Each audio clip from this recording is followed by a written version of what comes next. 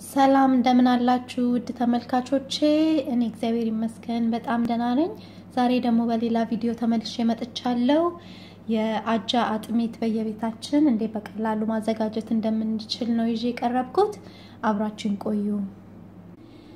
ለመስራት የሚያስፈልጉንም አንድ ኩባያ ኦት አጃ፣ ይሄ አንድ ሚኒቱን ነው የምጠቀመው። አንድ ሚኒቱን ነው የምጠቀመው።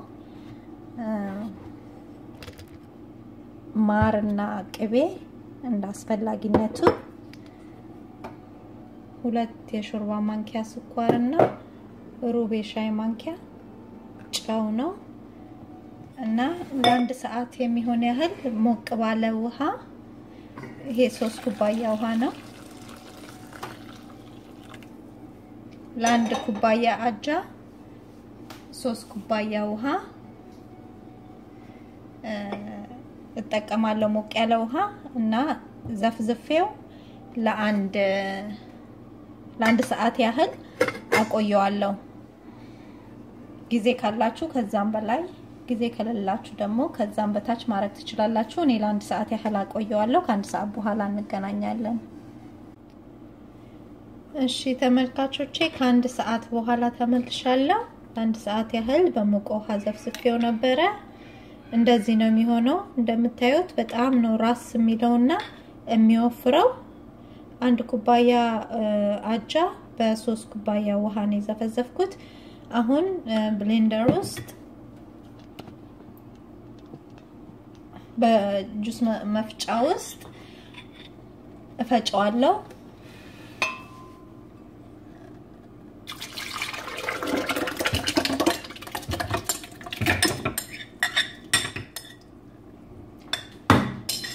በደንብ ስሙዝ እስኪሆን ድረስ ነው መፈጨው። የራሰ ተዘፍዝፎ የነበረ የራሰ ስለሆነ በደንብ ነው የሚፈጨው እና በደንብ እስኪፈጭ ድረስ እንግዲህ እፈጨዋለሁ ማለት ነው በመፍጫው። እንዳላጮህባችሁ ፈጭቼው መለሳለሁ።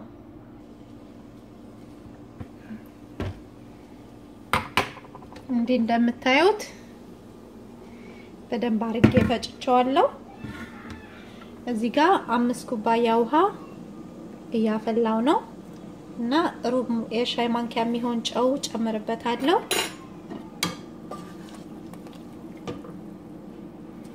ከዛ እዚህ የፈጨሁትን አጃ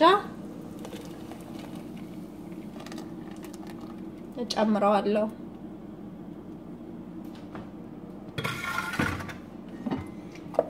እና እንዳይገነፍልብን እያማሰልን እናንተ ከትከዋለን ማለት ነው። ቶሎ በጣም ቶሎ ነው የሚበስለው። ብዙ ሰዓት ወስደን ማብሰል አይጠበቅብንም።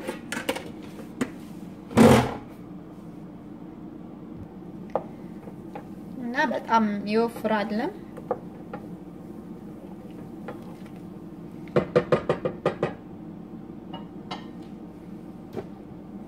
እዚህ ጋር ሁለት የሾርባ ማንኪያ ስኳር አለኝ። እሱን ጨምረዋለሁ። ስኳር መጨመር የማትፈልጉ ማር መጨመር ትችላላችሁ። ማር ብቻ መጨመር ትችላላችሁ።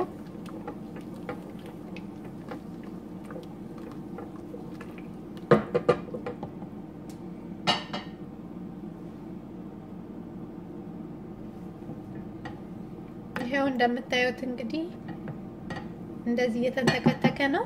እንዳይገነፍልባችሁ ሂቱን ቀንሱት መፍላት ሲጀምር።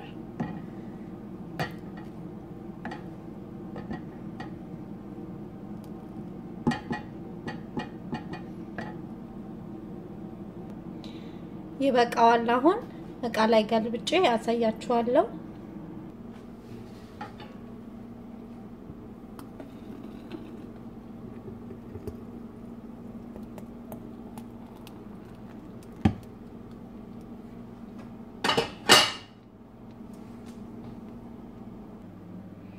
እሺ ተመልካቾቼ እንግዲህ ቅቤ ለሚፈልግ ቅቤ አርጋችሁ መጠጣት ትችላላችሁ። ቅቤ ለማይፈልግ ማር ብቻ ወይ ደግሞ እንዲሁም መጠጣት የምትፈልጉ ደግሞ እንዲሁም አርጋችሁ መጠጣት ትችላላችሁ። አንዳንድ ሰው በወተትም ይወዳል። በወተትም ደግሞ በጣም ቆንጆ ነው፣ ይጣፍጣል።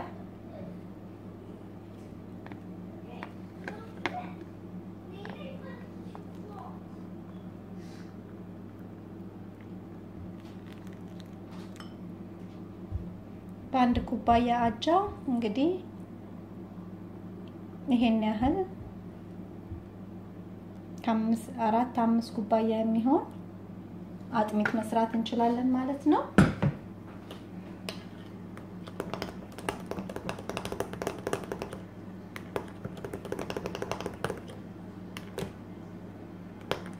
አቆይታችሁ የምትጠጡት ከሆነ ደግሞ እየወፈረ ነው የሚሄደው እና በወተት ማቅጠን ትችላላችሁ።